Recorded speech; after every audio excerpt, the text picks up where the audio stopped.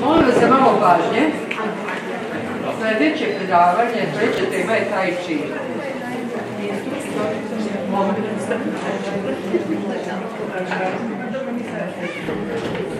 Vesna Lečić Milovanović je instruktor taj čija po struci profesor filozofije, ali je dugo prema vežbanju prvagnula. Već godinu dana vodi volonterske vežbe taj čija za članove Orce u Kragovicu. Održavao nekoliko predavanja temu zdravog života, koje je uključivali članove, članove podružnice Kragujevac. Izvolite. Hvala lepo. Dobar dan, ja se izvinjavam što sad sve ovako htjela sam neku muziku da vam nađem i da vam pustim, pošto je mnogo lepo kad se vežba uz muziku. Ja sam donela opremu da se presvučem, međutim, ipak sam zaključila da je bolje da vam pokažem, došla sam inače sa svadbe, odbegla sam, pobegla sam. nema smisla da, da izlazim sa svadbe. Evo, to što vidite. Znači, odbegla, nemoj da je neko na Facebooku ovo prikazao slučajno dok ne prođe nekoliko dana pa da me upate kako sam slagala i pobegla. Namjerno sam odlučila da ostanem ovako obučena da vam pokažem da ovu veštinu može da vežba svako na svakom mestu. Ja se izvinjam ako sam nekom leđa Znači na svakom mestu, bukvalno iz kancelarije čovjek izađe 15 minuta, 20 minuta, napravi pauzu, odvežba vežbe i to je to. E, verovatno ovaj, e, je, pretpostavljam u stvari da je red da vam kažem da ja također imam artritis i da mi je pre nešto više od dve godine postavljena dijagnoza karcinom dojke koji se proširio, odnosno metastazirao i zahvatio pazušnu jamu. Ko što vidite,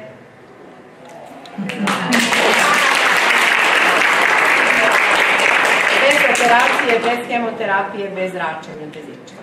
Znači, Eh, ovdje sam da, ne da reklamiram svoju bolest, jer pretpostavljam da više nemam. Eh, ovdje sam da vam kažem da eh, postoji prirodna medicina za koju su neki čuli, za neki nisu u potpunosti, ljudi to zovu alternativnom medicinom, to nije alternativna, to je prirodna medicina koja podrazumeva jedan poseban način života, poseban način razmišljanja. Za nas je poseban natal, on je u stvari strašno prirodan. Mi smo postali neprirodni. Mi smo potpuno neprirodni, odvojeni od prirode, zato smo se razboleli. Način na koji razmišljamo je neprirodan. Mi ne živimo u sadašnjem trenutku. Sad svi to na sva usta, živite u sadašnjem trenutku, a mi, mi e, nama je to jako teško zato što su generacije i generacije, naše majke, naše bake, živele brinući. I u našoj kulturi briga se neguje, briga se s kolena na koleno prenosi, a u stvari briga je jedno nepotrebno osjećanje koje ništa ne rešava. Dakle, e, ili živimo u prošlosti ili živimo u budućnosti i to nam stvara strašnu tenziju. E, način na koji se hranimo je katastrofalan. Kad neko boli od artritisa, ja imam prijatelja, imam prijateljicu koja bola od multiple skleroze i koja je lekar rekao da jede meso. Uh, ja ne želim ni na koga da utičem da ne jede meso, samo želim da vam kažem da je suština u tome da su aminokiseline koje sadrže proteini uh, životinskog porekla, molekuli su im preveliki i onda začepe kanale kroz koje treba da uđu u ćeliju kad začepe te kanale, onda dve važne substance od kojih treba da se proizvedu naši hormoni sreće, serotonin i endorfin, ne mogu da se proizvedu. Znači nije stvar samo u tome što je meso puno hormona, antibiotika, koje čega. Znate kad uzmete mleko, na njemu piše dozvoljena količina krvi i životinskog gnoja. Da li iko od nas gleda to, dozvoljena količina krvi i životinskog gnoja? I da li bi iko od vas popio čašu mleka u koju bi ovako sipala jednu kap životinskog gnoja? Priznajte. Ali zato što je lepo upakovano, zato što ga reklamiraju na TV-u i svega toga ima bezbroj. A ja nisam tu sad da vam pričam o hrani, sad to onako samo usput. Isto tako, sebe smo raslabili time što se čuvamo hladne vode, čuvamo se vetra, ne idemo više bosi. Da bismo bili zdravi, lek za sve reumatske bolesti, lek za reumatizam je da se ukorenite. Vi ne možete da se ukorenite u obući, ne možete da se ukorenite na betonu, na parketu, laminatu. Mi se ukorenimo kad stojimo na zemlji. U kineskom pismu ne postoje dva znaka, za zemlju i za čoveka, postoji samo jedan, jer zemlja i čovek su isto. Zemlja ima frekvenciju, vi svi znate, sve oko nas je energija, sve. Kosmos je energija. Materija je energija zbusnuta do vidljivosti. Osim energije i materije postoji još informacija i ne postoji ništa drugo. Zašto vam to pričam? To vam sada pričam da bih vam objasnila kako lako čovjek može da se izleči. Ne postoji neizlečiva bolest, postoje samo neizlečivi ljudi. Ja se izvinjavam unapred ako je ovdje neko od lekara, pa ću ja možda reći nešto što sa čim se neki lekari ne slažu. Ali lekari puno znaju o bolestima i e, lekari jako malo imaju šanse da na svojim fakultetima uče o prirodnoj medicini. Lekar prirodne medicine zna sve o zdravlju. Lekar zvanične medicine puno zna o bolestima.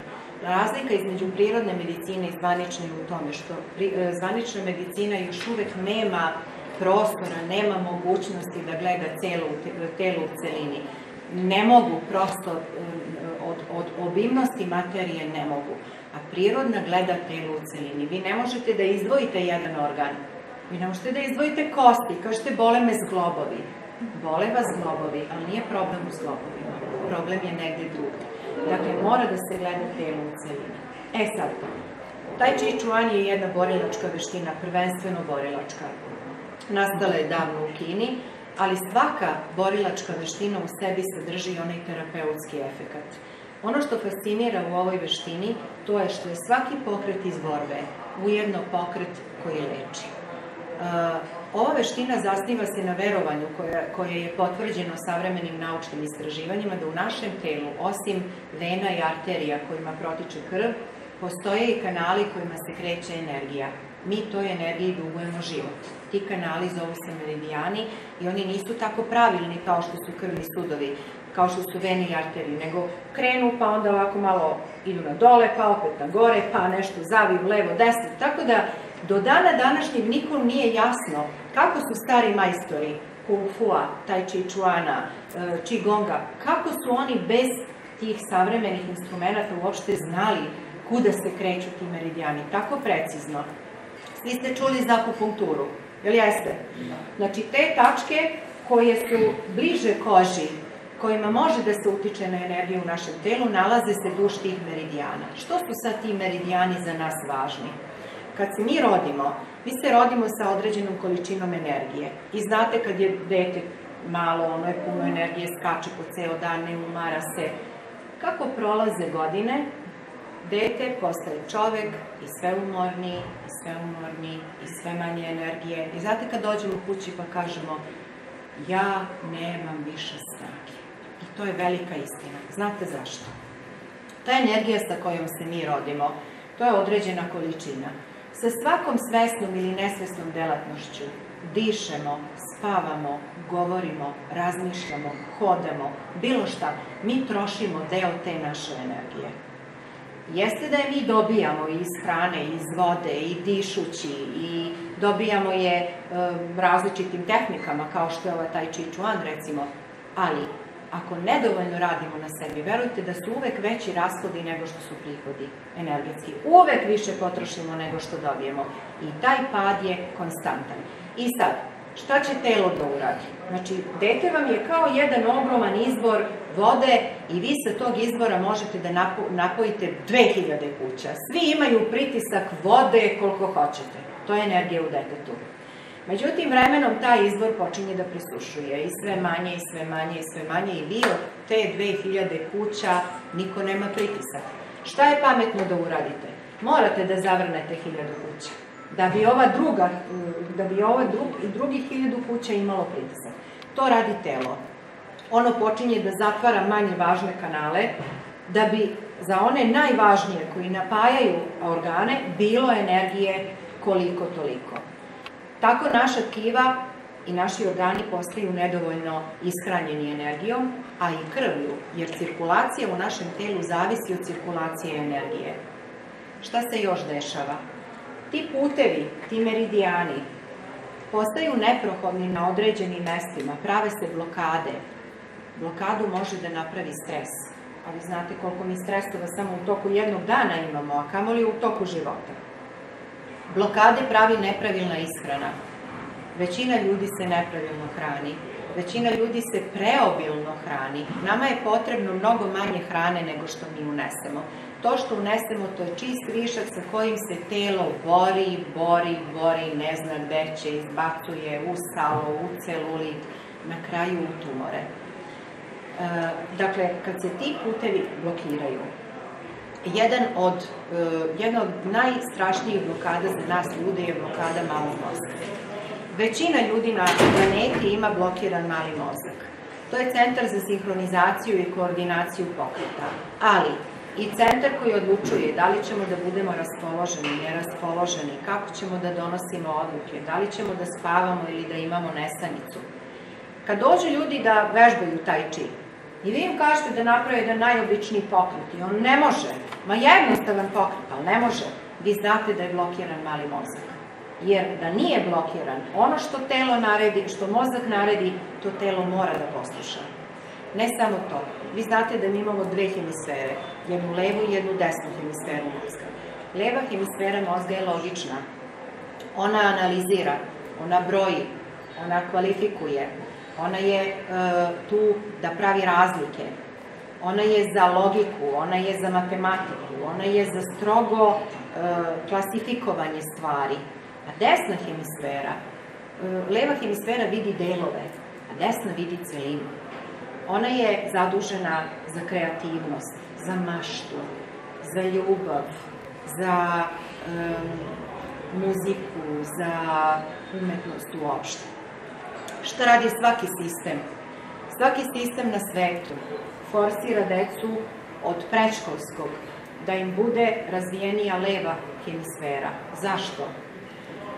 Ako je leva hemisfera razvijenija, prvo, telo ne može da se regeneriše onako kako se prirodno regeneriše kad se ne uključuju obe hemisfere zajedno.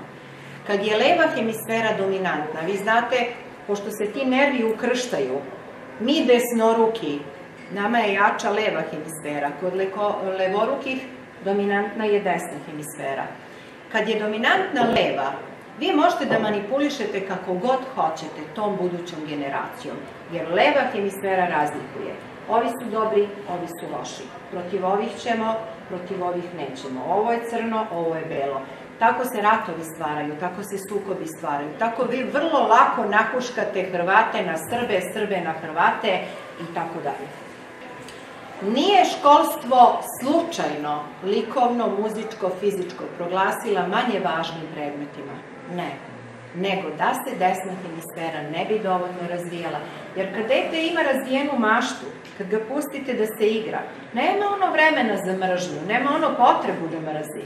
A ono treba da mrzi, ono mora sutra da bude poslušan konzument. Opet kažem, izvinjavam se lekarima kojih ima, nisu svi lekari isti, ima divnih lekara Pa znate kako? Ja ne pijem nikakve lekove. Nikakve. Moj lek je beli luk. Beli luk, beli luk i beli luk. Pa zamenim uzmem crni, pa se vratim na beli, pa tako. Kad neću da se osjećam na beli luk, ja grickam karamfilić i onda se ne osjećam nis. Kad odete kod lekara, on vam tamo prepiše terapiju, ja kažem, ja sad sve to hoću da znam, šta mi to pravi u organizmu. Lekar nema vremena, čeka tamo u čekaonici još njih 30.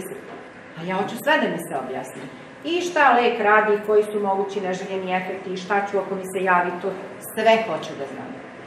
To lekar ne može da mi pruži, objektivno ne može.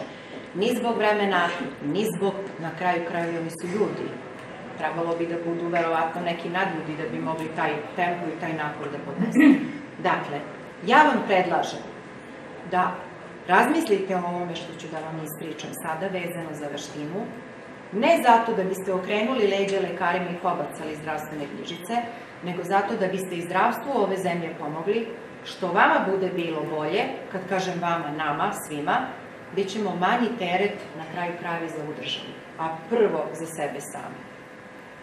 Dakle, prvo što treba da uradimo, to je da napravimo vezu sa zemljom. Zemlja je jedini element koji sve što ne valja transformiše i pravi ono što valja. Znate i sami, ako bacimo neko đubre u zemlju, osim ovoga što smo ga mi proizveli, kese što treba 100 godina da se raspadnu, ako bacimo neko, e, da kažem, truli paradajz, šargarepu i tako dalje, šta će da se desi u zemlji? Iznići će biljka ako ima samo malo semena. Ako nema semena, stvorit će zemlja humus. Je li tako? Ako bacimo zrno pšenice, izrašće biljka. Ako stanemo na zemlju, zemlja će da izvuče iz nas bolest. Probajte, vidjet ćete. Zašto?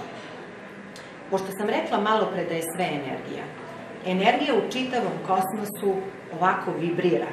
Znači ona se kreće ili kao talas ili kao pulsacija.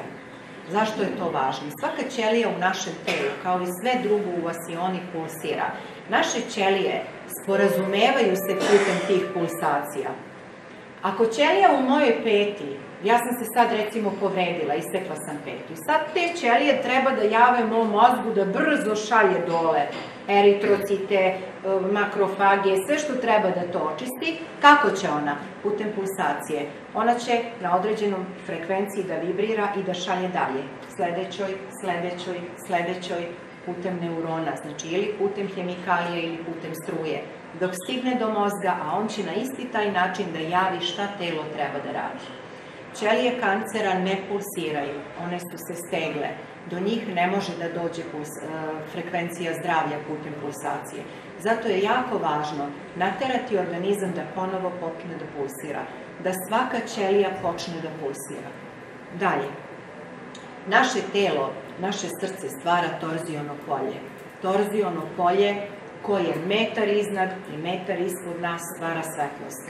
Kada su pravljena istraživanja, videlo se da svaka ćelija koja je napadnuta bilo čime počinje da proizvodi svetlost, odnosno fotone.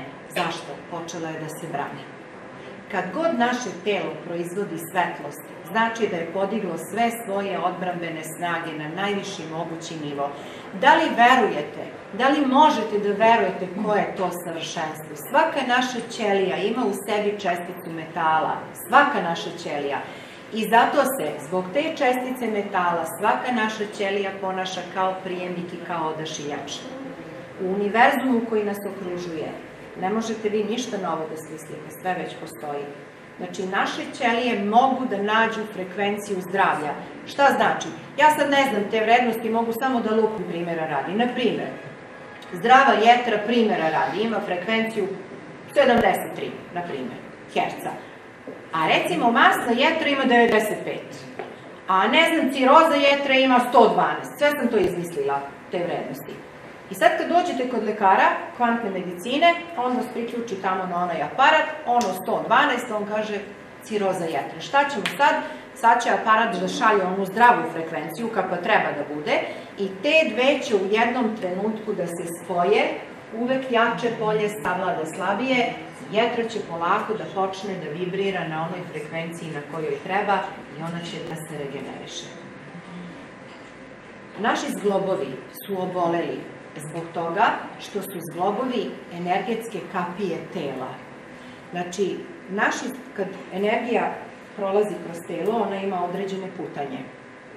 Svaki naš zglob je kapija koju energija treba da prođe. Ona tu ne prolazi iz raznoraznih razloga, bilo da nam nisu bubrezi u redu ili neke druge vrednosti u organizmu. Znači, tu se ona blokira, pa nam stanje postaje još teže. Kako godine prolaze, mi možemo sve manje da se krećemo, je tako, zato što su nam sami pokreti ograničeni. Sama neaktivnost, fizička neaktivnost, unešenje pogrešne hrane, nedostatak energije, jer je ona zablokirana u našim zglobovima, dovodi do toga da se bolest pogoršava. Dakle, prva stvar koju treba da uradimo, da, i nisam još to rekla, svaki čovek ima svoju ličnu frekvenciju na kojoj vibrira. Imate visoku i nisku frekvenciju. Visoku frekvenciju imaju ljudi koji su raspoloženi, zahvalni, ljubazni, topli. Nisku frekvenciju imaju oni kojima stalno nešto fali, stalno im neko kriv za nešto, ljubomorni, zavidni, ovakvi i onakvi. Čovek koji ima nisku frekvenciju ne može da bude zdrav. Znate zašto? Sve bolesti vibriraju na niskim frekvencijama. I kad se neko razboli, verujte, nemojte da se uvredite. Ova se izjava prvo na mene odnosi, jer sam se i sama razbolela.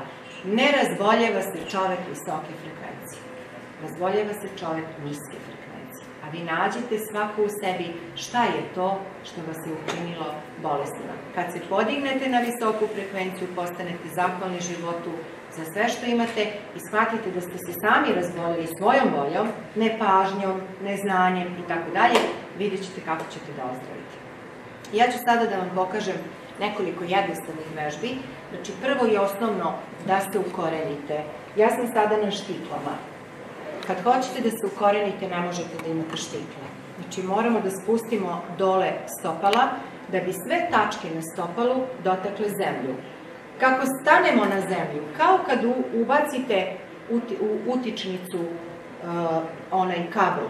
Znači, odmah se priključite na zemljenu frekvenciju koja je do skoro bila 7,86 Hz, što je inače frekvencija alfa stanja moždanih struja, odnosno onog našeg stanja kad smo potpuno opušteni. A kad smo potpuno opušteni, tad se naše telo regeneriše. Tad se ćelije regenerišu. Nas učili da se nervne ćelije ne regenerišu, to nije tačno. Svaka naša nervna ćelija može da se oporavi dok god smo živi. E, ja ću sad da vam pokažem vežbe. Da, da, to prvo. A pustit ću vam muziku samo da bi vama bilo prijatno. Nema potrebe. Znači, stanemo ne na štiklama. Kolena uvek moraju da budu blago savijena. Ne previše. Ako previše stavijete kolena, napravit ćete sebi problem sa zglobovima. Evo ću ovdje da možete da vidite. Koleno nikada ne treba da bude savijeno tako da ne vidite prste na nogama. Ako je više savijeno, više štete nego koristi. Znači, spustimo blago poziciju. Karlicu vučemo unutra. Ne onako kako smo nas u školi učili da imamo gimnastički stav. Ne, energija ne može se popne ovde. Znači, podvučem karlicu unutra. Olabavim laktove ramena. Uvučem grudi. Sila je u leđima i u borilačkim veštinama sila je u leđima, nije sila u grudima, znači grudi uvučene. Dole na stopalu nalazi se tačka, tu. Prva tačka na meridijanu bubrega, kinezi je zovu penušavi izvor. Kroz tu tačku u nas ulazi energija zemlje kao izvor. Verujte, kao gejzir. Znači onog momenta kad bosi stanete, samo malo pritisnete zemlju, u vašem telu se čudo dešava. Čudo se dešava. Mi to ne znamo. Mi smo se toliko odvojili od prirode, da mi više nemamo, ne da nemamo vezu sa prirodom, mi ne znamo da dišemo. Vi znate da ne znate. Mi dišemo plitko. Skoro svi procesi u telu obavljaju se uz pomoć kiselnika, u našem telu nema kiselnika, zato se dobija rak. Ovde se nalazi tačka kroz koju dolazi u naše telo energija kosmosa. Kroz ovu tačku energije zemlje. Te dve energije naše telo čine živim, čiste ga. Za nas žene važnija je ova energija zemlje, jer mi smo majke. Za muškarce je važnija ova energija svemira. Koliko podležemo modnim trendovima, mi godinama, mislim žene uopšte, rade trbušnjake da bi imale pločice energija zemlje ne može da ide gore, tu se zablokira, nastaju ciste, nastaje rak. Čovek zaboravlja da je od prirode stvoren takav kakav treba da bude. Ako tu ima malo masti, znači da treba da. Evo kako ćete da aktivirate levu i desnu hemisferu da rade u isto vreme. Telo je potpuno opušteno, potpuno. Okrenem prste napolje, Kad okrenem prste napolje, bit će mi aktivni unutrašnji meridijani jetra i slezine. One se, na, oni se nalaze sa unutrašnje strane butine. A kada okrenem prste unutra, aktivirat ću ove spolja. To su meridijani žučni.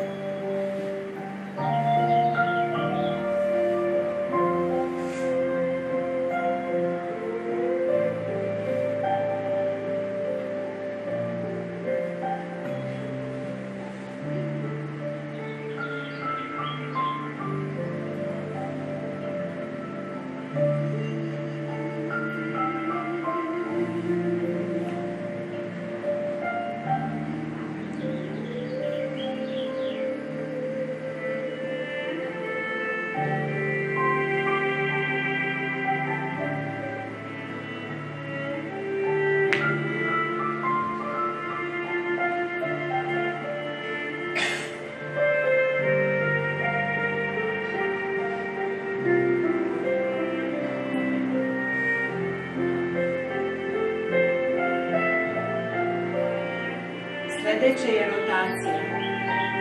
Da bi se prljava energija iz našeg tela otklonila, znate šta treba da uradite?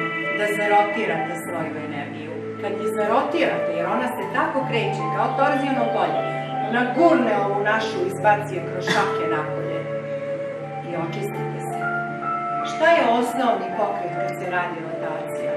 To je jedna vežba koju u svim sanatorijumima, u svim bolnicama širom rade decenijama, ljudi koje je medicina zvanična otpustila i pustila da umru. Evo sad ćete vidite koliko je to jednostavno. Evo.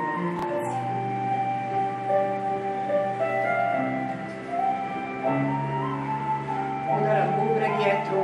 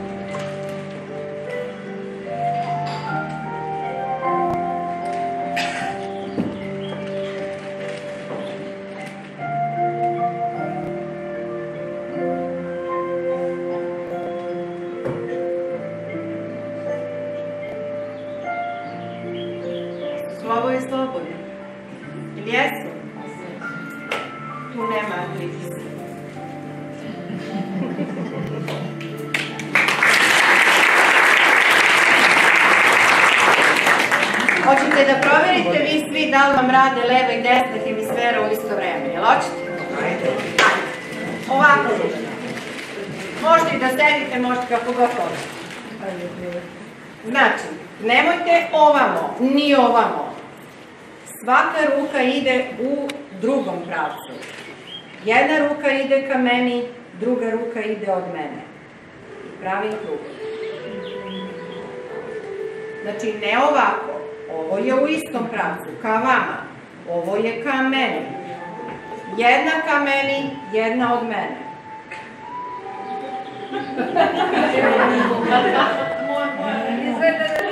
To je ono Pa je li deca? Pa je li deca koju smo radili kao deca? Da, ali to je u istom pravcu. A treba da idu različite.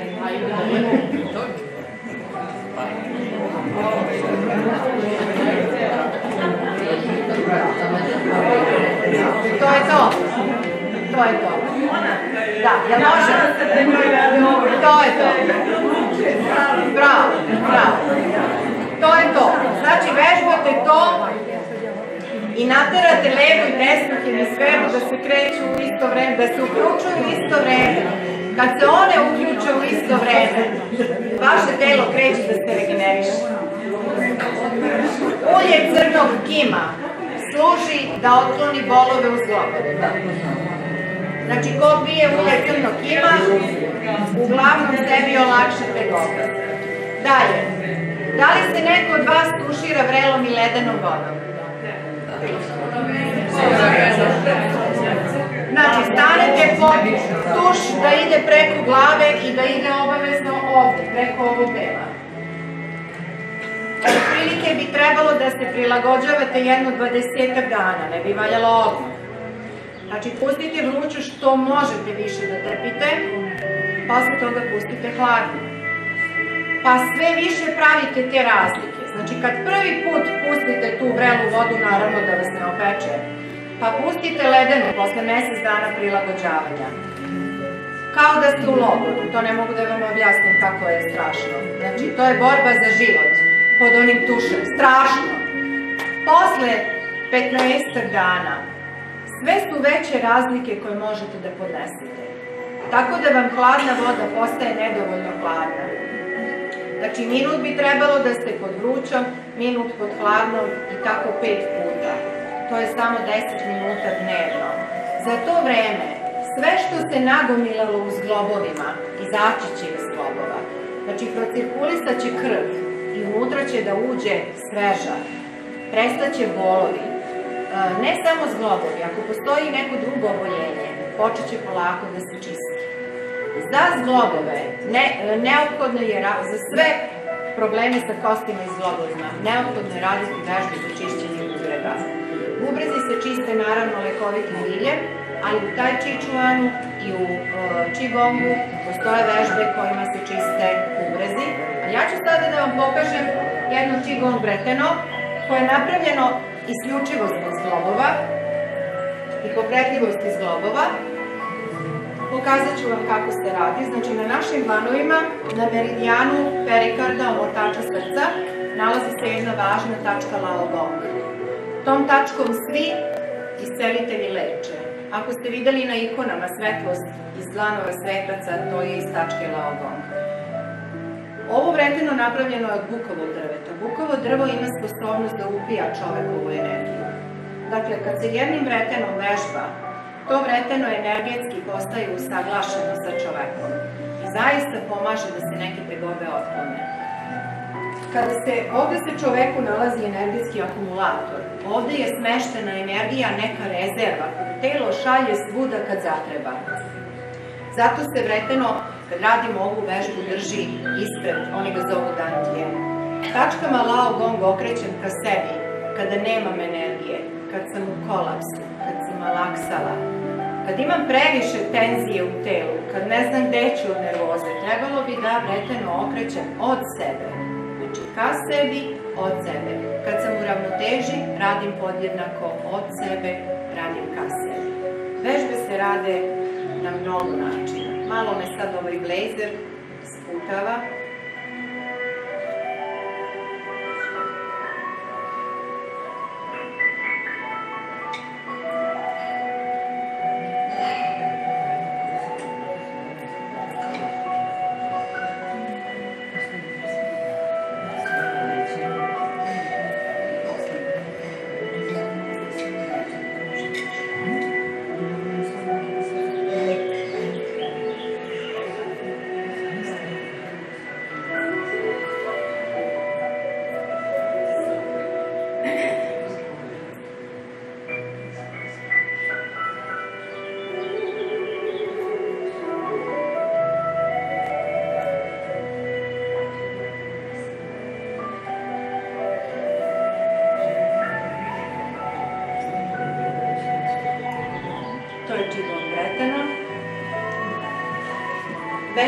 ima jako puno za čišćenje svakog organa. Stranica Tai Chi Chuan kluba Kragujevac uh, ima mnoštvo informacija o tome šta treba da radite ako želite, mnoštvo tekstova, snimaka sa naših seminara, Mi pripadamo taj Chi Chuan Savezu Srbije, naš učitelj je gospodin Mario Topošek, majstor nekoliko borilačkih veština, sa istoka je doneo iz mnogih bolnica, najpoznatijih čigom bolnica širom Kine, doneo mnogo znanja o tome kako se leče bolesti.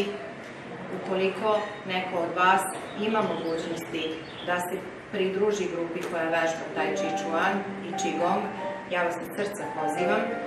Ukoliko neko nije odavde, pa u svom gradu možda ima, takođe vam od srca savjetujem. Dakle, ta elastičnost zglobova koja se postiže vežbanjem, dovodi do njihovog ozdravljenja. Vi ovde ne možete I morat ću da se okrenem tamo, da ne bi bila scena koja nije baš za gledanje. Evo vam kritična kolena.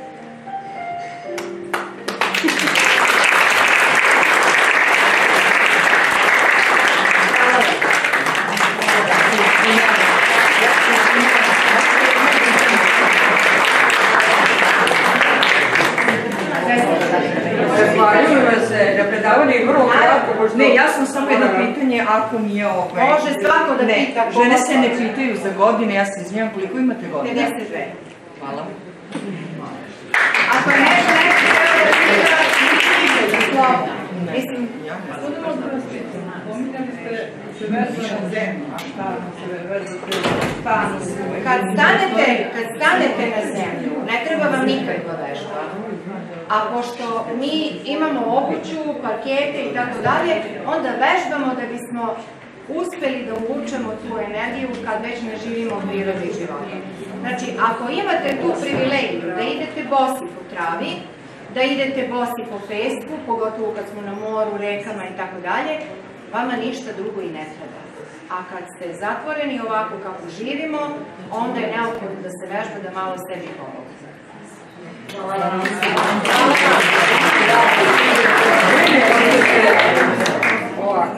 Informacije.